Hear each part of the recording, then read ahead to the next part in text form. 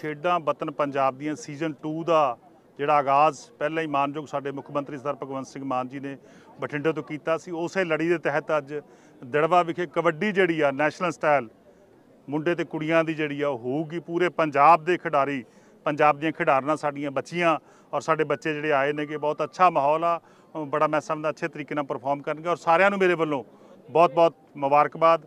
ਸਾਰਿਆਂ ਨੂੰ ਬੈਸਟ ਵਿਸ਼ੇਸ ਕਿ ਉਹ ਬੜਾ ਅੱਛਾ ਪਰਫਾਰਮ ਕਰਨਗੇ ਔਰ ਆਪਣੇ ਆਪਣੇ ਜ਼ਿਲ੍ਹੇ ਦਾ ਆਪਣੇ ਪਿੰਡ ਦਾ ਆਪਣੇ ਘਰ ਦਾ ਆਪਣੇ ਪਰਿਵਾਰ ਦਾ ਨਾਮ ਜਿਹੜਾ ਉਹ ਰੌਸ਼ਨ ਕਰਨਗੇ। ਸਰ ਨੂੰ ਪਹਿਲੀ ਵਾਰੀ ਮਾਣ ਮਿਲਿਆ ਜੀ ਕਿ ਖੇਡਾਂ ਵਤਨ ਪੰਜਾਬ ਦੀਆਂ ਤਹਿਤ ਪ੍ਰਬੰਧਨ ਦੇਖੋ ਜਦੋਂ ਪਿਛਲੇ ਸਾਲ ਪੰਜਾਬ ਵਿੱਚ ਆਮ ਆਦਮੀ ਪਾਰਟੀ ਦੀ ਸਰਕਾਰ ਆਈ ਸਰਦਾਰ ਭਗਵੰਤ ਸਿੰਘ ਮਾਨ ਜੀ ਬਤੌਰ ਮੁੱਖ ਮੰਤਰੀ ਉਹਨਾਂ ਨੇ ਸ਼ਪਥ ਗ੍ਰਹਿਣ ਕੀਤੀ ਔਰ ਸਭ ਤੋਂ ਪਹਿਲਾਂ ਖੇਡਾਂ ਵਤਨ ਪੰਜਾਬ ਦੀਆਂ ਦਾ ਆਗਾਜ਼ ਪੰਜਾਬ 'ਚ ਹੋਇਆ। ਲਾਸਟ ਈਅਰ ਖੇਡਾਂ ਕਰਵਾਈਆਂ ਗਈਆਂ। ਇਹ ਦੂਜਾ ਸਾਲ ਆ, ਦੂਜੇ ਸਾਲ ਹੋ ਰਹੀਆਂ ਨੇਗੀਆਂ। ਪਿਛਲੇ ਸਾਲ ਸਾਨੂੰ ਖੇਡਣ ਜਿਹੜਾ ਮੌਕਾ ਨਹੀਂ ਮਿਲਿਆ ਸੀ, ਇਸ ਵਾਰ ਮੌਕਾ ਮਿਲਿਆਗਾ ਔਰ ਮੈਂ ਸਾਡੀ ਸਾਰੀ ਸਮੁੱਚੀ ਟੀਮ ਦਾ, ਸਾਡੇ ਸਾਰੇ ਪ੍ਰਸ਼ਾਸਨ ਦਾ, ਡਿਪਟੀ ਕਮਿਸ਼ਨਰ ਸਾਹਿਬ ਦਾ ਐਸਐਸਪੀ ਸਾਹਿਬਾਨ ਦਾ ਐਸਡੀਐਮ ਸਾਹਿਬਾਨ ਦਾ, ਸਾਰੇ ਅਫਸਰ ਸਾਹਿਬਾਨ ਦਾ ਧੰਨਵਾਦ ਕਰਨਾ ਚਾਹੁੰਦਾ ਕਿ ਇਹਨਾਂ ਨੇ ਬੜਾ ਉਚੇਚਾ ਐਫਰਟ ਕੀਤਾ, ਯਤਨ ਕੀਤਾ ਕਿ ਸਾਨੂੰ ਇਹ ਖੇਡਾਂ ਜਿਹੜੀਆਂ ਮਿਲੀਆਂ ਨੇਗੀਆਂ। ਕਿਉਂਕਿ ਜਦੋਂ ਪਿਛਲੇ ਸਾਲ ਖੇਡਾਂ ਦੀ ਸ਼ੁਰੂਆਤ ਹੋਈ ਸੀ, ਤਾਂ ਉਸ ਤੋਂ ਬਾਅਦ ਪੰਜਾਬ ਦੇ ਅੰਦਰ ਖੇਡ ਭਾਵਨਾ, ਖੇਡ ਲਹਿਰ ਜਿਹੜੀ ਆ ਉਹ ਪੰਜਾਬ ਸ਼ੁਰੂ ਹੋਈ।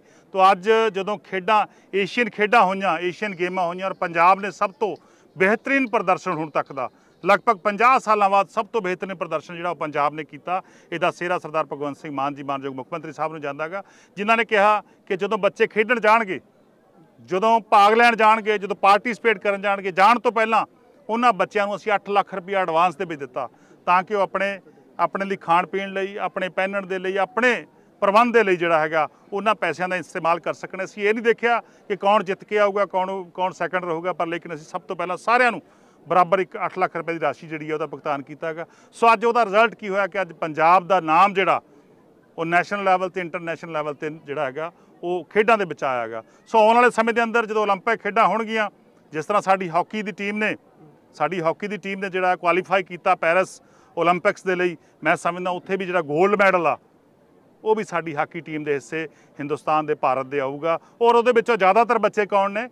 ਜ਼ਿਆਦਾਤਰ ਬੱਚੇ ਜਿਹੜੇ ਨੇ ਕਿ ਉਹ ਪੰਜਾਬ ਦੇ ਨੇ ਪੰਜਾਬ ਨੂੰ ਪੰਜਾਬ ਨੂੰ ਬਿਲੋਂਗ ਕਰਦੇ ਨੇ। ਸੋ ਇਹ ਤਾਂ ਹੋਇਆਗਾ ਜੇਕਰ ਪੰਜਾਬ ਦੇ ਅੰਦਰ ਖੇਡਾਂ ਦੀ ਲਹਿਰ ਜਿਹੜੀ ਆ ਉਹ ਸਰਦਾਰ ਭਗਵੰਤ ਸਿੰਘ ਮਾਨ ਜੀ ਦੀ ਉਸਾਰੂ ਸੋਚ ਦੇ ਕਾਰਨ ਜਿਹੜੀ ਆ ਉਹ ਖੜੀ ਹੋਈ ਹੈ। ਤੁਹਾਡੇ ਹਲਕੇ ਦੇ ਕੁਝ ਬੱਚੇ ਹੈਗੇ ਨੇ ਉਹ ਨੈਸ਼ਨਲ ਖੇਡੇ ਨੇ ਜੀ ਉਹਨਾਂ ਨੂੰ ਵੀ 골ਡ ਮੈਡਲ ਜਿੱਤਿਆ ਜੀ ਉਹਨਾਂ ਦੀ ਵੀ ਕੁਝ ਹੌਸਲਾ ਅਫਜ਼ਾਈ ਕੀਤੀ ਜਾਏਗੀ। ਬਿਲਕੁਲ ਜਿਹੜਾ ਵੀ ਬੱਚਾ ਨੈਸ਼ਨਲ ਕਿਤੇ ਵੀ ਗੇਮ ਖੇਡ ਕੇ ਆਉਂਦਾ ਕਿ ਕਿਸੇ ਵੀ ਲੈਵਲ ਦੀ ਗੇਮ ਖੇਡ ਕੇ ਆਉਂਦਾਗਾ ਬਿਲਕੁਲ ਅਸੀਂ ਦੀ 100% ਹੌਸਲਾ ਅਫਜ਼ਾਈ ਕਰਾਂਗੇ ਤਾਂ ਕਿ ਉਹ ਬੱਚੇ ਅੱਗੇ ਨੂੰ ਹੋਰ ਅੱਗੇ ਵਧਣ, ਅੱਗੇ ਵਧ ਕੇ ਜਿਹੜਾ ਹੈਗਾ ਆਪਦੀ ਪਰਫਾਰਮ ਕਰਨ, ਕਿਉਂਕਿ ਜਦੋਂ ਅਸੀਂ ਜਦੋਂ ਅਸੀਂ ਖੇਡਾਂ ਦੀ ਇੱਕ ਲਹਿਰ ਉਸਾਰਾਂਗੇ, ਜਦੋਂ ਅਸੀਂ ਖੇਡ ਦੀ ਇੱਕ ਲਹਿਰ, ਖੇਡਾਂ ਦੀ ਲਹਿਰ ਜਿਹੜੀ ਆ ਦੇਸ਼ ਦੇ ਅੰਦਰ ਉਸਰੂਗੀ ਜਾਂ ਪੰਜਾਬ ਦੇ ਅੰਦਰ ਉਸਰੂਗੀ ਤਾਂ ਮੈਂ ਸਮਝਦਾ ਨਾਲ ਦੀ ਨਾਲ ਨਸ਼ਿਆਂ ਦਾ ਖਾਤਮਾ 100% ਤੈਅ ਆ।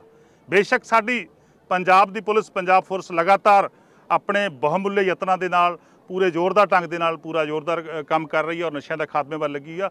ਪਰ ਫਿਰ ਵੀ ਮੈਂ ਸਮਝਦਾ ਇੱਕ ਲਹਿਰ ਜਿਹੜੀ ਆ ਉਹ ਸਾਨੂੰ ਖੇਡਾਂ ਦੀ ਉਸਾਰਨੀ ਪਊ। ਜਦੋਂ ਸਾਡੀਆਂ ਖੇਡਾਂ ਦਾ ਲੈਵਲ ਵੱਧਦਾ ਜਾਊਗਾ ਜਿਉਂ-ਜਿਉਂ ਸਾਡੀ ਖੇਡਾਂ ਦੇ ਵਿੱਚ ਖਿਡਾਰੀਆਂ ਦੀ ਪਰਫਾਰਮੈਂਸ ਜਿਹੜੀ ਹੈ ਤਕੜੀ ਹੁੰਦੀ ਜਾਊਗੀ ਤਿਉਂ-ਤਿਉਂ ਮੈਂ ਸਮਝਦਾ ਨਸ਼ਿਆਂ ਦਾ ਪੰਜਾਬ ਵਿੱਚੋਂ ਮੁਕੰਮਲ ਤੌਰ ਤੇ ਖਾਤਮਾ ਹੁੰਦਾ ਜਾਊਗਾ। ਸਟੇਡੀਅਮ ਡੜਪਾ ਦੇ ਬੋਲਿਆ ਤੁਸੀਂ। ਜੀ ਡੜਪਾ ਦੇ ਸਟੇਡੀਅਮ ਨੂੰ ਆਪਾਂ ਸਾਡੇ ਸਪੋਰਟਸ ਅਫਸਰ ਸਾਹਿਬਾਨ ਇੱਥੇ ਖੜੇ ਨੇਗੇ। ਸਾਡੀ ਪੂਰੀ ਸਮੁੱਚੀ ਟੀਮ ਦਿੜਵੇ ਦੀ ਖੜੀ ਆ।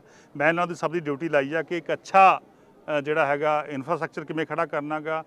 ਕਬੱਡੀ ਦੇ ਲਈ ਜਿਹੜਾ ਗਰਾਊਂ ਮੈਟ ਵਾਲੀ ਕਬੱਡੀ ਹੁੰਦੀ ਆ ਨੈਸ਼ਨਲ ਸਟਾਈਲ ਕਬੱਡੀ ਆ, ਜਾਂ ਦੂਸਰਾ ਬੈਡਮਿੰਟਨ ਦੇ ਜਿੰਨੇ ਵੀ ਗਰਾਊਂਡ ਦੀ, ਜਿਹੜੀ ਵੀ ਗਰਾਊਂਡ ਦੀ ਆ, ਉਹ ਸਾਰਾ ਬਿਲਕੁਲ ਪਰਲੇ ਪਾਸੇ ਇਹਨਾਂ ਨੇ ਜਿਹੜੀ ਜ਼ਮੀਨ ਆਇਡੈਂਟੀਫਾਈ ਕੀਤੀ ਆ, ਔਰ ਜਿੰਨੇ ਵੀ ਪੈਸੇ ਹੋਣਗੇ, ਪੈਸਿਆਂ ਵੱਲੋਂ ਬਿਲਕੁਲ ਘਾਟ ਨਹੀਂ ਆਉਣ ਦੇਵਾਂਗੇ, ਤਾਂ ਕਿ ਜਦੋਂ 5 ਸਾਲ ਪੂਰੇ ਹੋਣ ਸਰਕਾਰ ਦੇ ਤਾਂ ਦਿੜਬਾ ਖੇਡਾਂ ਦੇ ਵਿੱਚ ਪੰਜਾਬ 'ਚ ਨੰਬਰ 1 ਤੇ ਹੋਵੇ ਇਹ ਮੇਰੀ ਕਾਮਨਾ ਹੈ ਇੰਡੋਰ ਸਟੇਡੀਅਮ ਇੰਡੋਰ ਸਟੇਡੀਅਮ ਜਾਂ ਸਟੇਡੀਅਮ ਦੀ ਮਾਡਰਨਾਈਜੇਸ਼ਨ ਕਹਿ ਲਈਏ ਉਹ ਬਿਲਕੁਲ ਜਿਹੜੀ ਆ ਅਸੀਂ ਉਹਦੇ ਲਈ ਖਰੜਾ ਤਿਆਰ ਕਰ ਰਹੇ ਨੇ ਸਾਡੇ ਅਫਸਰ ਸਾਹਿਬਾਨ।